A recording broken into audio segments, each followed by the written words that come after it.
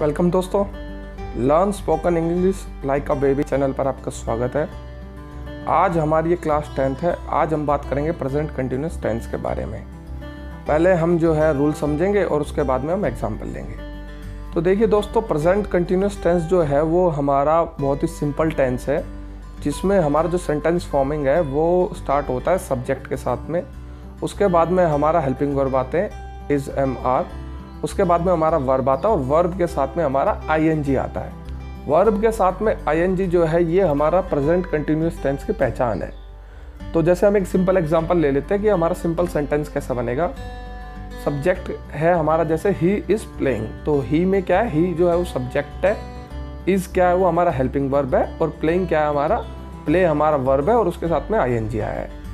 तो ही के साथ में इज़ आता है। अगर यहाँ पर यू होता तो आर आ जाता। और आई होता तो एम आ जाता। तो ही इज़ प्लेइंग उसके बाद में नेक्स्ट एग्ज़ाम्पल ले लेते हैं। तो देखिए, जब हमें नेगेटिव सेंटेंस बनाना होता है तो हम बोलते हैं, हमें पता है कि हम नॉट ऐड करते हैं तो सब्जेक्ट के साथ में इज़ एम आर और उसके बाद में नोट आ जाएगा। जैसे कि ही इज़ नॉट प्लेइंग तो इसके बाद में नॉट ऐड कर दिया तो ये नेगेटिव सेंटेंस बन गया। अच्छा तो अब ये क्वेश्चन सेंटेंस कैसे बनेगा?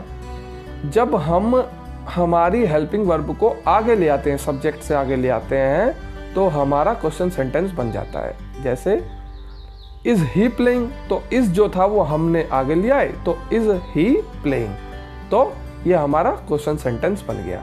तो इस तरीके से हम तीन तरह के सेंटेंसेस में बनाते हैं। अब यूजेस समझ लेते हैं, उनके एग्ज़ाम्पल ले लेते हैं। देखिए, एक तो प्रेजेंट प्रेजेंट कंटिन्यूस का यूज़ है कि describe something which is happening at the exact moment of speech जो जिस समय हम बोल रहे होते हैं मोमेंट ऑफ़ स्पीच के समय कोई भी चीज़ घटना घटित हो रही होती है तो उसको हम प्रेजेंट कंटिन्यूस से डिस्क्राइब करते हैं। For example Jim is watching television at the moment तो एट द मोमेंट मतलब बोलते समय जिम जो है, वो टेलीविज़न देख रहा है तो ये आ जाएगा, ये हमारा हमने डिस्क्राइब किया है, जो घटना हमारी घटित हो रही है एट द मोमेंट उसको घटित किया तो Jim is watching television at the moment बोलते समय जिम जो है, वो टेलीविज़न देख रहा है। दूसरा describe in action that is taking place now but not exact movement of speech अब देखिए, बोलते समय जो बिल्कुल जैसे मैं बोल रहा हूँ, उस समय वो घटना घटित नहीं हो रही है, लेकिन एक लॉन्ग पीरियड में वो घटना घटित होती जा रही है। जैसे for example John is working in London John जो है वो काम कर रहा है लंदन में, लेकिन ऐसा तो नहीं है कि जिस समय मैं बोल रहा हूँ, उसी समय कर रहा है।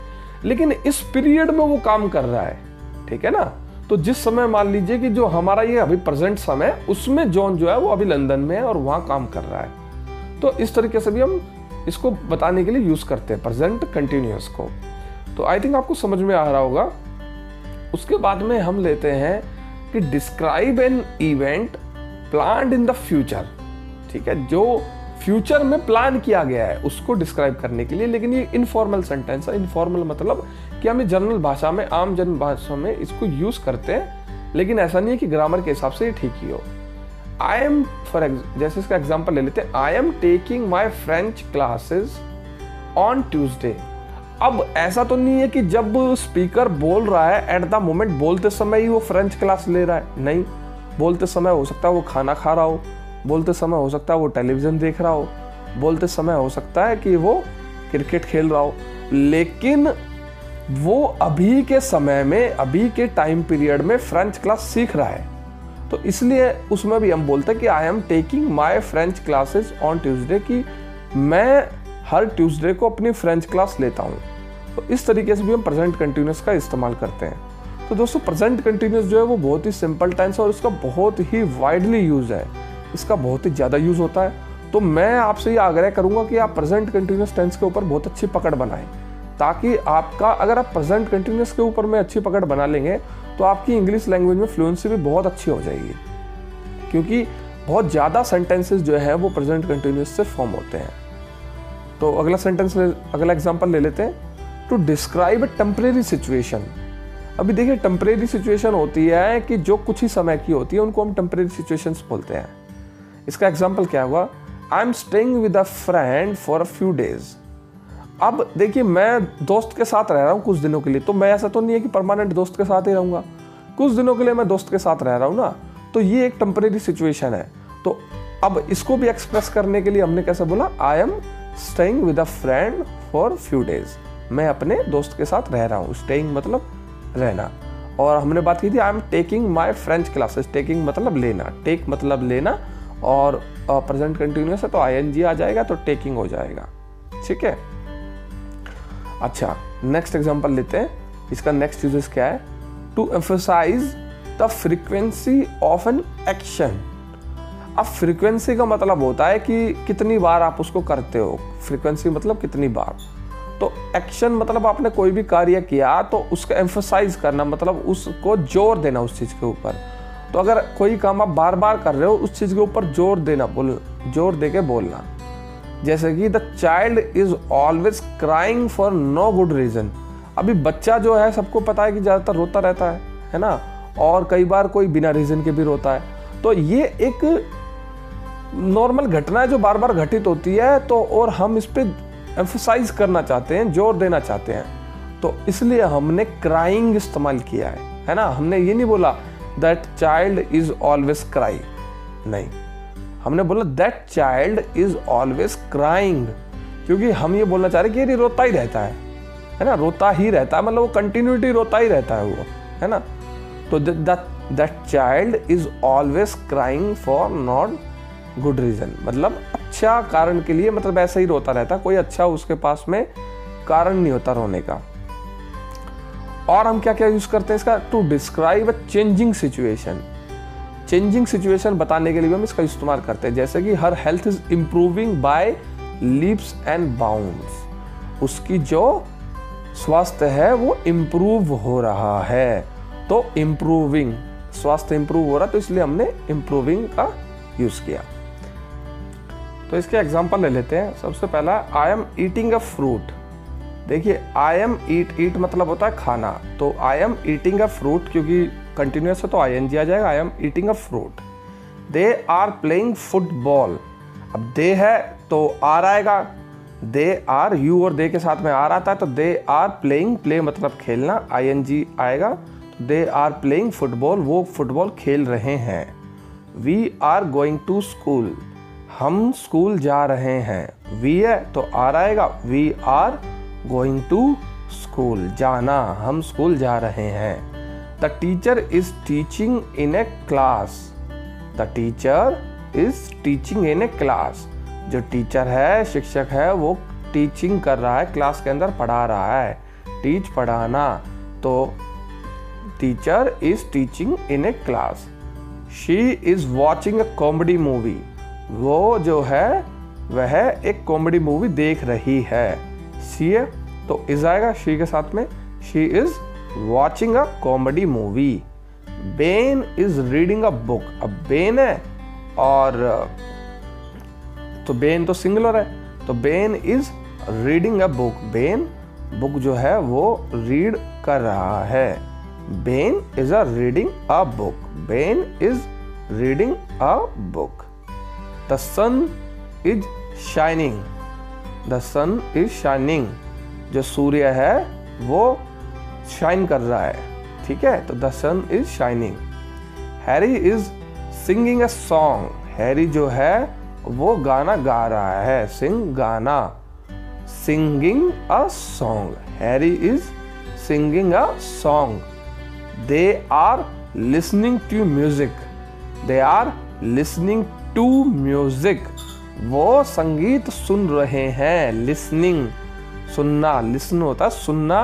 और क्योंकि कंटिन्यूस है, वो कर रहे हैं काम सुन रहे हैं इस समय तो they are listening to music they are listening to music okay next है you are living in a London you are living in a London तो लंदन आपको पता है कि एक शहर का नाम है और लीव मतलब रहना, और वो अभी क्योंकि करंट में रह रहा है तो you are living in London तुम लंदन में रह रहे हो।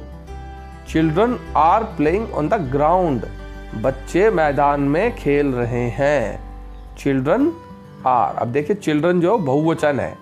चिल्ड्रन जो है वो सिंगुलर नहीं जब भी हम चिल्ड्रन बोलते हैं तो उसमें बहुत सारे बच्चों की बात करते हैं। ठीक है? Children are playing on the ground बच्चे मैदान पर खेल रहे हैं।